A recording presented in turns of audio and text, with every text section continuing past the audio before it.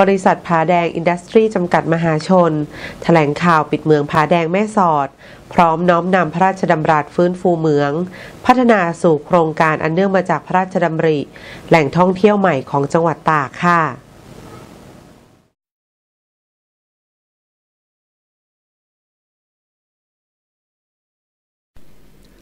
นายเทียนชัยสิงหาการ ผู้อำนวยการเมืองผาแดง บริษัทผาแดงอินดัสทรีจำกัดมหาชน จัดการถแถลงข่าวพร้อมนำสื่อมวลชน เดินทางไปชมพื้นที่ฟื้นฟูป่าสีเขียว หน้าเหมืองแม่สอดตำบลพระธาตุผาแดงอำเภอแม่สอดจังหวัดตาก ซึ่งเหมืองผาแดงได้ยุติการผลิตแร่สังกะสีแล้ว ในปี 2559 รวมระยะเวลาในการดำเนินการเหมืองเป็นเวลา 32 ปี และขณะนี้อยู่ระหว่างการฟื้นฟูสภาพสิ่งแวดล้อมในพื้นที่ที่เคยทำเหมือง ซึ่งจะต้องเร่งทำการฟื้นฟูสภาพป่าในพื้นที่ให้คงสภาพเดิมให้มากที่สุดในพื้นที่ 1,642 ไร่ และเกือบร้อยละ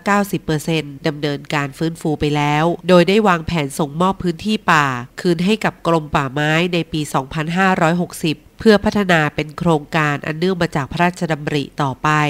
โดยการปลูกต้นราชพฤกษ์40,000 ต้น ไม้ท้องถิ่น 140,000 ต้น ลูกหญ้าแฝก 22 ล้านต้น โดยใช้งบประมาณดำเนินการฟื้นฟูป่าและธรรมชาติจำนวน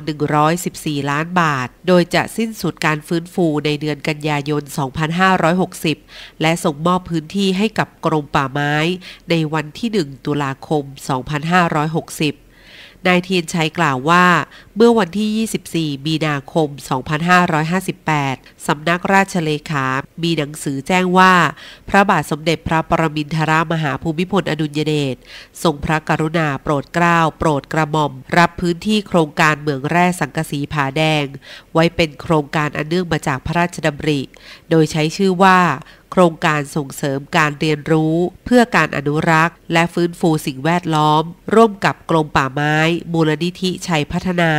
และหน่วยงานราชการที่เกี่ยวข้อง ร่วมกันจัดทำแผนแม่บทเพื่อการจัดการอย่างยั่งยืน รองรับการดูแลและพัฒนาพื้นที่ต่อจากบริษัทผาแดงอินดัสทรี